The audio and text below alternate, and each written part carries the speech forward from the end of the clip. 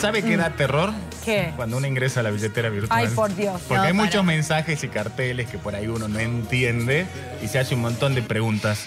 Y viste cuando te Sí. dicen, no, pero vos tenés esa, yo tengo aquella que te da más, este te da menos, pero fíjate, hay gente que dice, podés hasta comprar dólares. Y está la pregunta, ¿y si quiero esa plata, de dónde la saco? ¿Vos confías en eso? ¿Cómo la toco esa plata? ¿Quién te da después?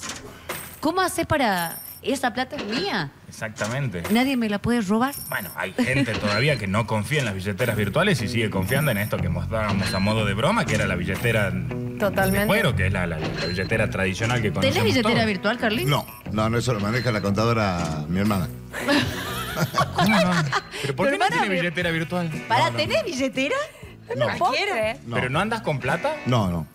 O sea, nadie... No, en o sea, en si efectivo, alguien quiere chorearle a. Carlín, No no. anda, con efectivo. FT No es que siempre. no anda Claro, en con efectivo. Pero tampoco. No, no tiene. No es que no anda con plata, no tiene.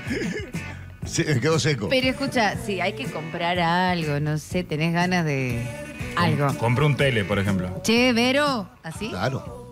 Ella maneja todo. Es la ¿Qué contadora. capa? Es la contadora. Pero Que aguante. Es- es ¿Qué aguante la ah, discúlpeme, Vamos a qué preguntar. pollerudo. No, es es No, mi- qué Sí, cómodo. Por eso, sí, es tu hermana, lo mismo. No es pollero, es cómodo. Pero bueno, si no lo que pasa, yo soy un desgaste de plata. Es verdad. Yo soy un desgaste de plata. Te, te, te cuida las finanzas. Exactamente. Es buena. Cuando andas con, con- con los bolsillos secos, vacíos, Claro, como oreja de Claro, perro, no digamos, gastás porque no afuera. tenés. Tiene razón ahí, sí. Bueno, ¿Vos tenés billetera virtual, Checho? Tengo billetera virtual, sí, sí, sí, explotada.